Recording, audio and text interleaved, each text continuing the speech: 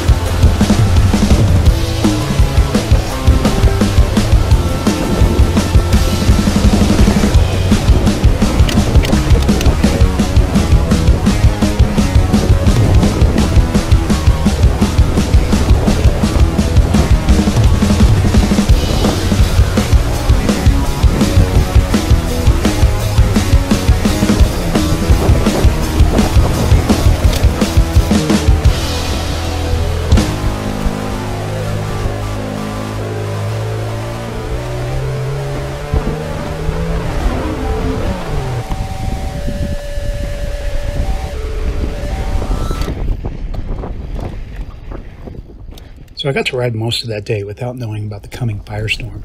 Ten devastating days later, I ask, rather than watch another four minutes of mountain biking, you please take that time and go to redcross.org slash donate to help anyone displaced by wildfires or flooding. Even if this is last month's news, people still need help.